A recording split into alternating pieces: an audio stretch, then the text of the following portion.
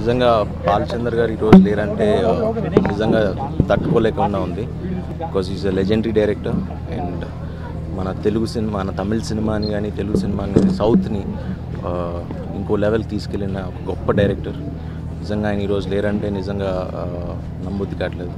So వాళ్ళ family members అందరికీ uh, సంతాపం తెలియజేస్తున్నాను may his soul rest in peace thank you of course ఆయన సినిమాలు నాకనే కాదు uh, చాలామందికి ఇన్స్పిరేషన్ ఎందుకంటే ఆయన ఒక్కొక్క కథ ఒక్కొక్క జానర్ ఆయన చేసిన genres I think Telugu south ఇండస్ట్రీలో think is one of the biggest directors and ఆయన చేసిన కథలు ఎవరు తీలేరు మళ్ళీ. అవి మళ్ళీ మళ్ళీ రావు.